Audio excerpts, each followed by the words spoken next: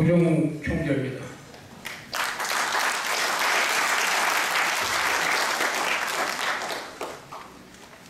어, 먼저 어, 내면을 소개해 드리겠습니다. 어, 오늘 이 자리에 정말 예상 외에도 만장을 해주셔서 자리가 없으셔서 저렇게 복도에 계시고 뒤에 계신 우리 단체 의원님들 그리고 내빈님들께 정말 심심한 사과를 드립니다. 어, 여기 오신 분들은 전부가 한 분 한 분 한 분도 빠짐없이 제가 내빈 이상의 귀빈으로 소개를 해 올려야 될 분들이십니다.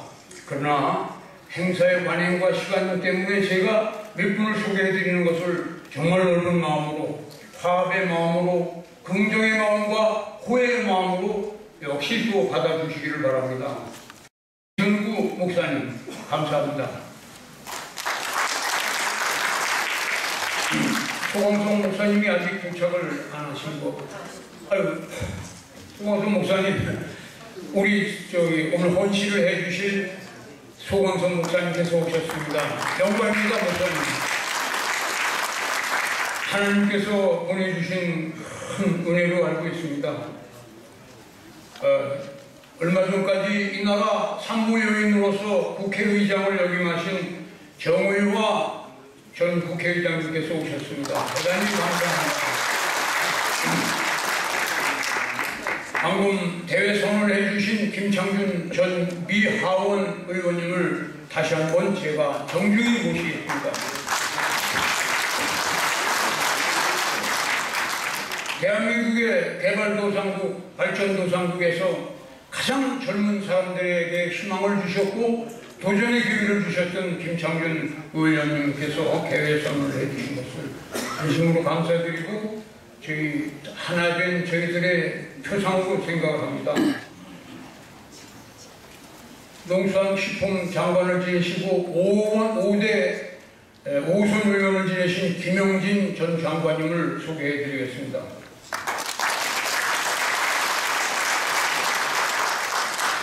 박수선 국회 부의장님 오늘 축사를 하시기로 되어 있는데 방금 전에 어, 이 다리를 다치셔가지고 병원에 계십니다. 다 기도해 주시기 바랍니다. 재외동 포이사장님이신 주철기 이사장님 감사합니다. 얼마 전까지 대통령을 보좌하시고 지금은 상당히 중요한 걸 맡고 계십니다. 한국외교협회의 정태익 외교협회 회장님께서 오셨습니다. 감사합니다. 본 회의 고문이시며 국가원로회의의 자문위원장님이신 박준 위원장님을 소개해 드리겠습니다.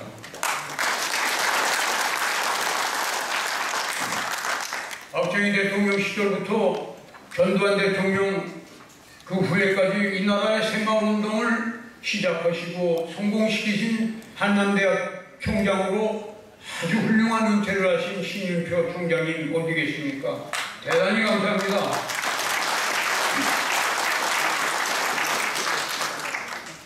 조금 아까 인사는 드렸지만 김소혁 회장님 다시 한번 소개해 드릴게요. 이 2015년도 대한민국 신사임당을 하셨다는 걸 다시 한번 제가 알려드리고 싶습니다. 아까 낭송한 시를 작시하셨고요. 최고의 시인이시고 또 시의 선생님이시고 저희 기구의 고모님이십니다. 차단법인 한국무궁화중앙회 명승희 총재님 오셨습니다. 감사합니다. 아까 말씀드린 대로 이 자리에 오신 분 정말 한 분 한 분을 다 소개해드려야 도리고 마땅하지만 제가 다 해드리지 못하는 걸 널리 이해해 주시기 바라면서 디프로모시 인도교 회장님 아, 죄송합니다. 잠깐만 일어났다 앉으시죠.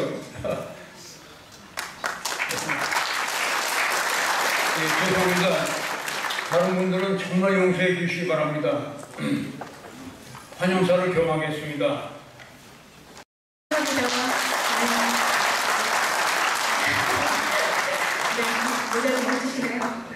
자, 이번에는 경과보고입니다.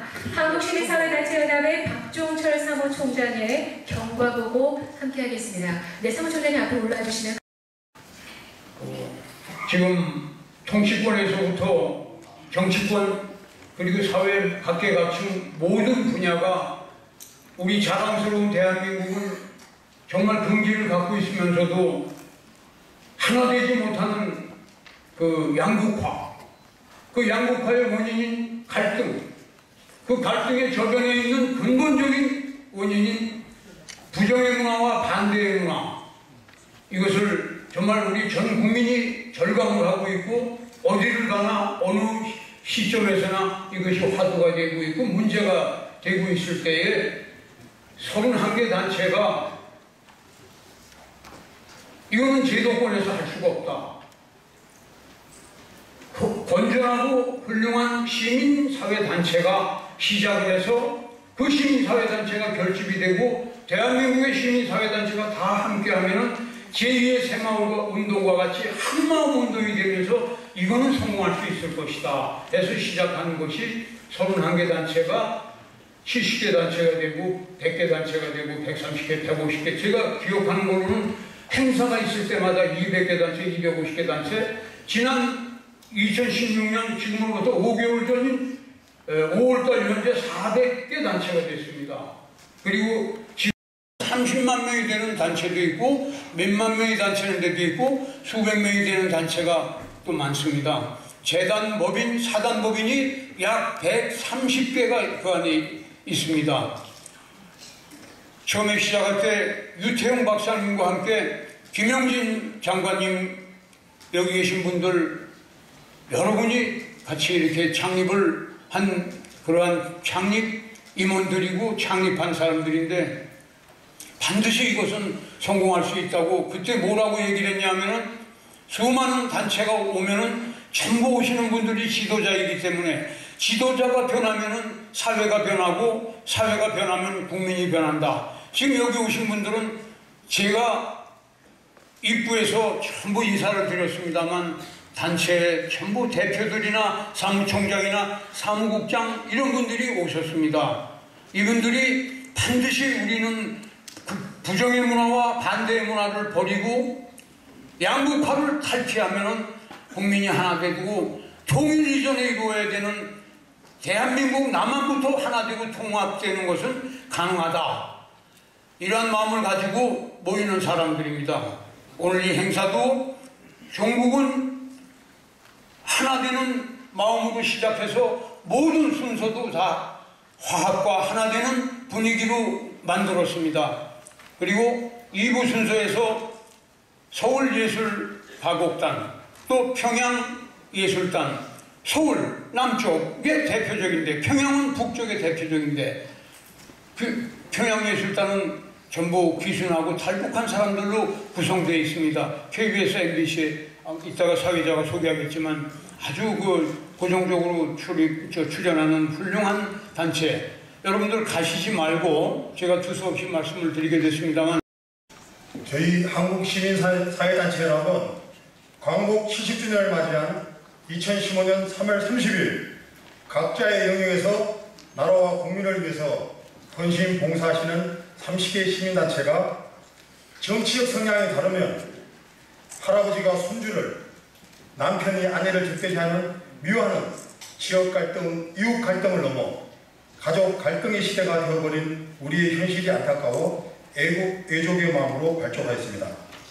저희는 먼저 우리 단체와 단체 장들이 변화되어야겠다는 마음으로 유태영 박사님과 박종건 의원님 그리고 정홍원, 김황식 전 총님들 각계 존경받는 지도자들을 모시고 우리의 변화와 태도와 방향을 잡아, 잡음으로써 또한 워크숍과 마음을 통하여 하나가 되어 왔습니다.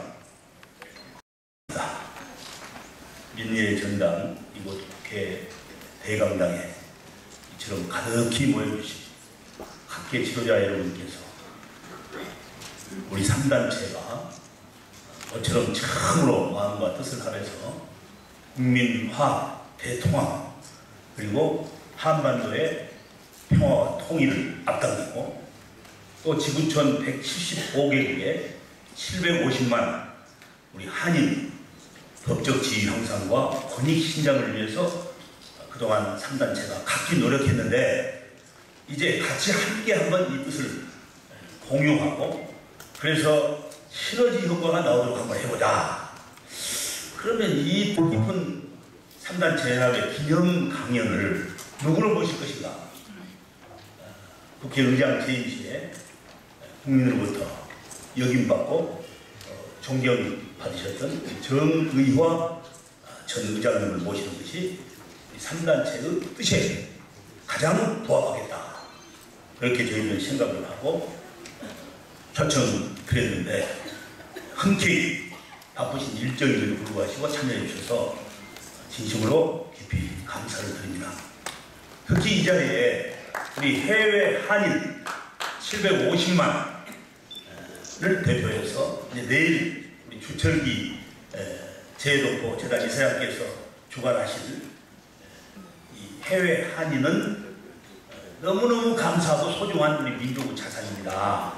그래서 이분들 우리가 소중히 감사히 여기고 그래서 어, 이런 뜻을 세계 한인의 날 국회 기념식을 어, 매년 10월 5일 날 오전 7시 반에 바로 이 자리에서 교계 또 시민 사회단체 학계 등 각계 지도자들을 초청해서 우리가 9년째 월드키카에서 기념식을 해왔습니다. 그런데 이번에는 어, 10월 5일은 우리 주철기 재단 이사장께서 주관하신 행사로 그리고 오늘은 우리 3단체가 한번 이 귀한 뜻을 되새겨보자.